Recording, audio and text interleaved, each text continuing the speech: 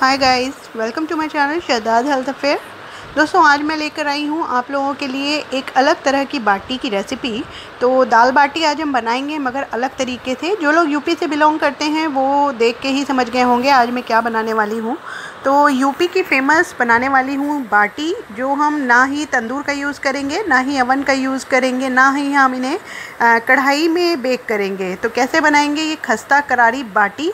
तो बाटी के साथ हमें दाल सर्व करनी होती है तो पहले हम दाल की प्रिपरेशन कर लेते हैं। यहाँ पे मैंने ली है वन कटोरी यानी वन कप उड़द की धुली दाल जिसे मैंने धो के आधे घंटे के लिए भिगो दिया था। अब इसे मैंने कुकर में डाला है और जितनी दाल है उसका डबल पानी यानी दो कटोरी पानी स्वादानुसार नमक हाफ़ टी स्पून हल्दी और चुटकी भर हींग डालकर इसका हम प्र, इसको प्रेशर कुक करेंगे। तो इसके लिए ढक्कन लगाकर हम इसे दस मिनट के लिए मीडियम फ्लेम पर दाल पकने तक पका लेंगे। अब हम अपनी बाटी की तैयारी करते हैं। तो यहाँ मैंने लिया है दो कप आटा, जिसमें मैंने ऐड किया है आधा कप सूजी और वन फोर्थ कप बेसन। तो ये ज़रूर डालिएगा, इससे बाटी जो हमारी बनेंगी खस्ता बनेंगी, करकरी, कुरकुरी बनेंगी और खाने में सौंधी बनेंगी। इसमें डाल रही हूँ मैं टेस्ट के अकॉर्डिंग थोड़ा सा नमक और अब हम इसमें थोड़ा थोड़ा पानी डालेंगे। देखिए, कोई मोयन नहीं डाल रहे हैं, कुछ नहीं डाल रहे हैं, फिर भी ये इतनी खस्ता कुरकुरी कैसे बनेंगी तो यही सीक्रेट मैं आपको बताऊँगी। तो इसको मुलायम आटा लगाया है मैंने थोड़ा थोड़ा पानी डालकर इसे 10 मिनट के लिए रेस्ट दे देते हैं। तो लगभग 10 मिनट हो चुके हैं तो अब हमें क्या करना है जो हमने ये आटा लगाया है इससे हम इस तरह से ये बड़े बड़े गोले बनाएँगे। आ, देखा जाए तो ये नॉर्मल आप रोटी पराठा बनाते हैं तो ये चार के बराबर हो गया इतने बड़े बड़े गोले मैंने बना लिए तो देखिए सारा आटा मैंने तैयार कर लिया है अब मैंने करा है एक कढ़ाई में पानी गर्म। और जब ये पानी बॉइलिंग स्टेज पे आ गया, आप देखिए धुआँ निकल रहा है पानी में से तो जब ये पानी में से धुआँ आने लगे, यानी थोड़ा सा बॉइलिंग स्टेज पे आ जाए तो ये सारे जो लोई, यानी कि जो गोले बनाए हमने, ये इस पानी में हमें डाल देने हैं। और इसको बॉईल करना है कम से कम 15 से 20 मिनट। आ, तो यहाँ पर देखिए मीडियम फ्लेम पे मैं इसे बॉईल रही हूँ आप देख रहे होंगे आटा अब पहले से आप देखिए कलर चेंज हो गया। ये पहले से स्पॉन्जी हो गया है पक चुका है और 15 से 20 मिनट मैक्सिमम लगते हैं इसे पकने में और वो पता चल जाएगा। आप एक चाकू डाल के देख लीजिए, अगर अंदर से बिल्कुल साफ़ आ रहा है तो इसका मतलब अंदर से आटा पक चुका है। तो अब इसे थोड़ा सा जल्दी ठंडा करना है, क्योंकि मुझे लंच तैयार करना है। तो मैं यहाँ से बीच में से ऐसे कट कर दे रही हूँ, ताकि ये थोड़ा सा ठंडा जल्दी हो जाए। जितना ये ठंडा होता जाएगा, उतना ये हार्ड होता जाएगा डो तो यहाँ पे जो ट्रेडिशनल वे है, वो मैं आपको दिखाती हूँ। जो लोग बनाते हैं उसको वो क्या करते हैं कि आ, आटा जब बन उबल जाता है तो उसको इस तरह से मथनी या हाथ से या कटोरी से इस तरह से रगड़ रगड़ के बिल्कुल चिकना करते हैं। तो हमें थोड़ा सा काम स्पीड में करना है। मैं क्या करती हूँ मैं इस तरह से मेरे पास फ़ूड प्रो है। अगर फ्रूट फ़ूड प्रो नहीं है तो वो लोग मिक्सी में भी कर सकते हैं। आप आटे के छोटे टुकड़े कर लीजिए और इस तरह से मिक्सी में डालेंगे। तो देखिए दो बार मैं कर रही हूँ मैंने आधी लोई इस तरह से काट के डाल ली है और इस तरह से हम इसे डाल के मिक्सी में चलाएँगे। अब आप देखेंगे जैसे जैसे ये चल हम इसको ब्लेड लगा के चला रहे हैं। तो ये आटा पहले तो कटेगा और कटने के बाद ये आपस में एकदम बाइंड अप हो जाएगा अच्छे से बंध जाएगा। तो यही काम आप मिक्सी में कर सकते हैं। मेरा काम दो बार में हुआ है। अगर आप सिंपल मिक्सी जार में चला रहे हैं तो आपको हो सकता है चार बार में करना पड़े। थोड़ा थोड़ा डालते जाइए और चलाते जाइए। अब मैं खोल के आपको दिखाती हूँ कि इसकी कंसिस्टेंसी कैसी है। देखिए, अभी आपको लग रहा है ना, ये बिखरा बिखरा है, लेकिन जब हम इसे बाइंड करेंगे तो ये इस तरह से हो जाएगा। तो फ्रेंड्स ये पूरी तरह से हमें ठंडा नहीं करना है। ये हल्का गुनगुना है। और मिक्सी में चलाया हमने तो ये थोड़ा और ठंडा हो गया है और इतना है कि हम इसे आराम से हाथ लगा सकते हैं, हमें बिल्कुल भी गर्म नहीं लगेगा। तो हाथ सारा मैंने चला लिया है देखिए मिक्सी में और अब हाथों में थोड़ी सी चिकनाई लगाई है और इस तरह से थोड़ा सा रगड़ लेंगे। थोड़ी मेहनत तो बनती है दोस्तों, सारा काम मिक्सी नहीं कर सकती। तो देखिए, हाथों से इसे चिकना करना है और जो ये फट, आपको अलग अलग पीस दिख रहे हैं ना, ये फटे फटे से ये सब आपको एक साथ करना है। तो हाथों से थोड़ा सा दम लगाइए थोड़ी सी आपको ताकत यहाँ पे लगानी पड़ेगी और इस तरह से प्रेशर डालते हुए हम इस तरह से एक लोई तैयार कर लेंगे। अब आपको जितनी बड़ी बाटी बनानी है, उतने बड़े आपको ये गोले तोड़ने हैं।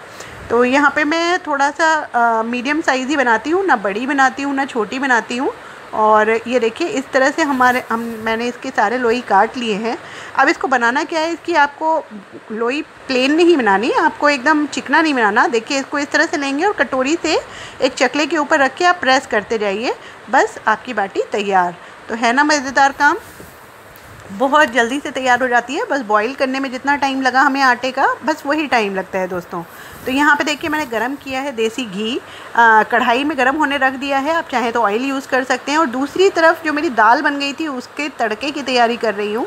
तो एक पैन में डाला है मैंने वन टेबल स्पून घी, देसी घी, उसमें डाला वन टीस्पून जीरा, थोड़ी सी हींग चुटकी भर, और वन टीस्पून डाली मैंने लाल मिर्च। और दो टमाटर जिसे मैंने चॉपर में चॉप कर लिया है और एक हरी मिर्च। इन सारी चीज़ों को अच्छे से हम घी में भूनेंगे क्योंकि ये दाल का तड़का हम टमाटर का बना रहे हैं, हम प्याज लहसन का यूज़ नहीं कर रहे हैं। अगर अदरक है तो आप थोड़ा सा घिस के डाल दीजिए। तो अब मैं डाल रही हूँ, देखिए थोड़ी सी लाल मिर्च मैंने और डाली है थोड़ा सा धनिया डाला है और थोड़ी सी हींग का पानी डाला है। यहाँ पे मैं हींग का पानी डाल रही हूँ। इससे ना थोड़ा सा डाइजेशन में प्रॉब्लम नहीं होती, क्योंकि उड़द की दाल से थोड़ा सा प्रॉब्लम हो जाती है। गैस वगैरह की तो इस वजह से हम घी, मैंने इसमें हींग को घोल के पानी में डाल दिया। और जब आपको लगे टमाटर भुन गए हैं, थोड़ा सा घी छोड़ दे तो हमने जो अपनी दाल उबाली थी, उसे इसमें डाल दिया। अब हम इस पर लगाएँगे थोड़ा सा ऊपर से इसको और सजाने के लिए थोड़ा इसका फ्लेवर आ जाएगा, धनिया डाल के, और मैंने ढक्कन लगा दिया।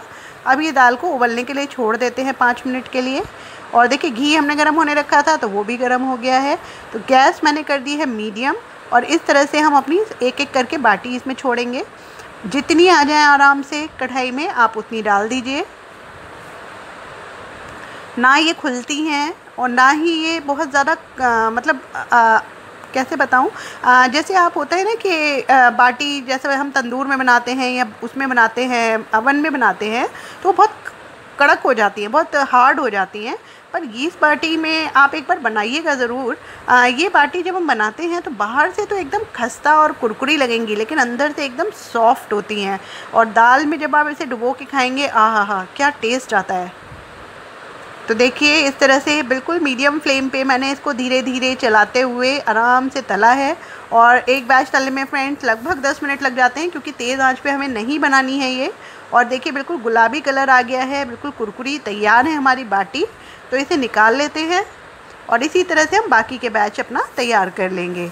तो आइए सर्व करते हैं गर्मा गर्म बाटी गर्मा गर्म दाल के साथ। यहाँ मैंने सर्व किया है साथ में मसाला छाछ, जो मैंने पुदीने से तैयार की है। तो बेस्ट कॉम्बिनेशन है ये यूपी का। और अलीगढ़ में तो बहुत ही फ़ेमस है ये खस्ता दाल बाटी। तो आप लोग बनाइए और देखिए कुछ अलग आजकल जैसा लॉकडाउन पीरियड चल रहा है, सब लोग खाने के लिए अलग अलग चीज़ें मांगते हैं तो आप ट्राई कर सकते हैं। आई एम श्योर आप लोगों को पसंद आएगी। ना ज़्यादा सब्जियों की ज़रूरत है और ना ही ज़्यादा इंग्रेडिएंट्स की। घर में रखी हुई चीज़ों से आप ये तैयार कर सकते हैं। तो आ, मैं एक तोड़ के आप लोगों को दिखा देती हूँ। ये देखिए बाहर से एकदम खस्ता है पर अंदर से देखिए बिल्कुल सॉफ्ट है। बहुत ही अच्छी लगती है खाने में। तो ट्राई ज़रूर करिए रेसिपी पसंद आया तो लाइक करें शेयर करें चैनल को सब्सक्राइब करें।